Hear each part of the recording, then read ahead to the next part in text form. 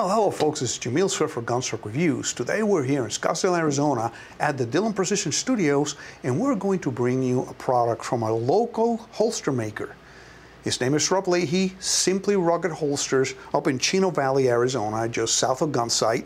And he made me this really cool holster for the SIG P365. Look at that. Isn't that cool? Outside the waistband, two belt loops, the pistol fits perfectly in it. Look at that. He also makes a mag pouch for it. He actually, Rob put the Gunsite logo on it for me because they are our home range, Gunsite Academy up in Paulden.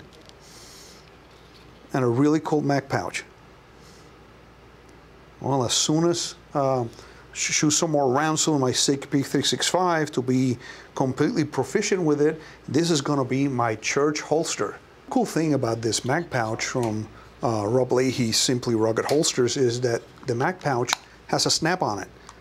Actually, you don't have to take your belt on, on and off to put the magazine pouch on and off. So basically, take mag pouch, put it on your belt, and snap it in.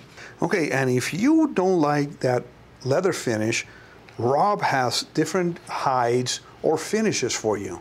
Like this one here for a revolver has actually rattlesnake on it, which is kind of cool.